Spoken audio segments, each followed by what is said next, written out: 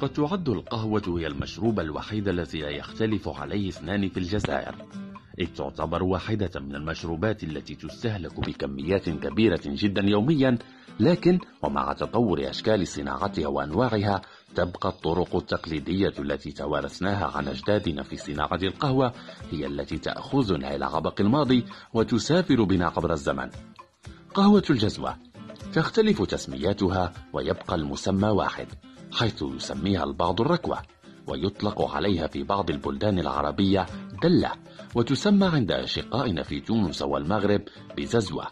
والجزوة هي الإناء الذي تصنع فيه القهوة ويكون شكله أسطوانيا مستوي القعر ويصنع عادة من النحاس أو الحديد له مقبض طويل يكون مصنوعا من مادة الخشب. أما طريقة تحضير قهوة الجزوة حسب ما توارثناه من أجدادنا فهي سهلة جدا بقدر ما هي معقدة.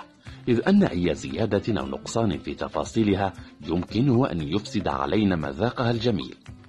ينبغي أولا استخدام حبوب البن ومن المهم أن يطحن البن مباشرة قبل التحضير والحصول على مسحوق ناعم نوعا ما. ويعد هذا الأمر ممكنا باستخدام مطحنة يدوية. وفي هذه الحالة نحتاج للقليل من الصبر عند التحريك أو استخدام آلة خاصة للطحن حيث يمكنها طحن حبيبات القهوة وجعلها ناعمة.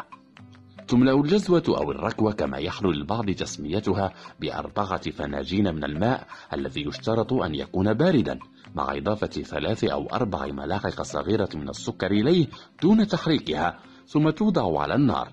وبمجرد غليان الماء ترفع الجزوة عن الموقد وتضاف أربع ملاعق صغيرة من مسحوق القهوة إلى الماء ويحرك المزيج جيدا.